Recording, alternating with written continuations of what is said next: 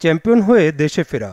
এরপর সরকার প্রধানের কাছ থেকে সংবর্ধনা পাওয়া দারুণ সম্মানের বাংলাদেশ নারী ফুটবল দলের জন্য। যেখানে এবার লাল সবুজ দলের মেয়েরা সংবর্ধনা পেল প্রধান উপদেষ্টা ডক্টর মোহাম্মদ ইউনুসের কাছ থেকে। সংবর্ধনা অনুষ্ঠানে মেয়েদের কথা শুনতে গিয়ে আবেগ আপ্লুত হন প্রধান উপদেষ্টা, যেখানে তিনি শুনেন মেয়েদের আবাসন সমস্যা ও অনুশীলন বাড়ানোর চাহিদা। পাশাপাশি দেশের বাইরে খেলার সুযোগের ব্যাপারেও তার সহযোগিতা চায় খেলোয়াড়রা। সবার পক্ষ থেকে একটা জিনিসই ছিল যেটা ইতিমধ্যে সবাই মোটামুটি জানেন যে মেয়েরা বলেছে যে তাদের একটা আবাসনের ব্যবস্থা হলে ভালো হয়। যেহেতু তাদের ফ্যামিলিরা আসে, মেয়েরা সারা বছর ক্যাম্পে থাকে ফ্যামিলিরা এসে থাকার জায়গা থাকে না, হোটেলে উঠতে হয় অনেক ফ্যামিলির জন্য, আবার সেই হোটেলের খরচটাও বেয়ার করা ডিফিকাল্ট হয়। সো মেয়েদের জন্য যদি একটা থাকার একটা জায়গার ব্যবস্থা করে দেন সেটাই মূলত বলেছে এবং যার যার অঞ্চলে ছোটোখাটো সমস্যা, যেমন রাস্তাঘাট যেমন মনিকা বলেছে, ওর এলাকাতে রাস্তাঘাট এবং বিদ্যুতের সমস্যা আছে। আমরা বলেছি যেমন আমাদের বঙ্গবন্ধু স্টেডিয়ামটা হচ্ছে এখনও ইয়ে হয়নি, রেডি হয়নি এবং ন্যাশনাল টিমের হচ্ছে প্র্যাকটিসের জন্য যেতে হয় হচ্ছে বসুন্ধরাতে, যেটা মতিঝিল থেকে বসুন্ধরা অনেক ডিফিকাল্ট হয়ে যায়।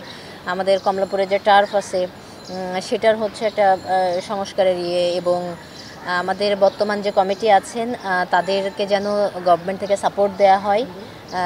আমাদের যে ফ্রেন্ডলি ম্যাচগুলোর যে টাকার যে সমস্যা থাকে সেদিকে যেন একটু নজর দেন। মেয়েদের এবং পুরুষ ফুটবলের দুটাই যেন তাদের উন্নতি নিয়ে কাজ করা হয় সেটার দিকে যেন নজর দেওয়া হয়। খেলোয়াড়দের এই সংবর্ধনা অনুষ্ঠানে ছিলেন যুব ও ক্রীড়া উপদেষ্টাও। স্যার আজকে খুব ধৈর্য সহকারে নারী ফুটবল দলের প্রত্যেকের কথা শুনেছেন।